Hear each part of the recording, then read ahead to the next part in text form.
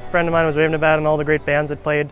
And the next year I'm like, oh, I want to be a part of this. And so I'm like, oh, I don't know anybody with a porch. So I went out and somehow things came together and I found some folks with porches. So.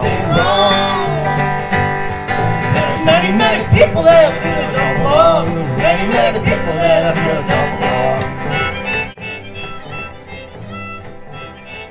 Speaks to um, the individual and it's not very intellectual. You don't have to, to take course after course in music theory to really understand and get up and dance to it. That's why I love the folk music that we play. Thank you. Everyone just comes out and has a good time, listens to all the local music because there's so much, there's so much great music that Ithaca as a com community and a town has to offer that a lot of people don't hear about.